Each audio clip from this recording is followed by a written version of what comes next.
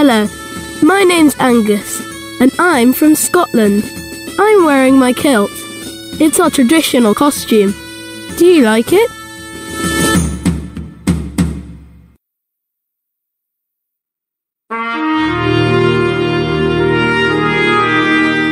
I'm Kanat from Kazakhstan. I'm wearing a traditional Kazakh costume. I like my black and gold jacket.